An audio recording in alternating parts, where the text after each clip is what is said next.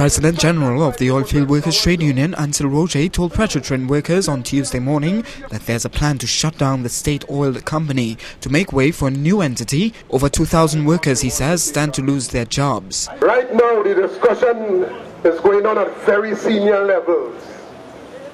Top management in the company. The acronym for this new organization is NewCor, New Company and they are discussing what the shape of new this new Petrotrin would be like.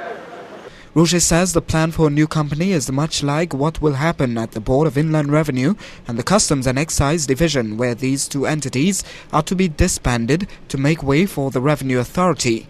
Roget told workers the proposal on the table for Petrotrin entails running the refinery with less workers, and there's also a proposal, he says, to change the security at the company. Two companies have already submitted, security companies have already submitted bids to run the police operations in, in Petrotrin.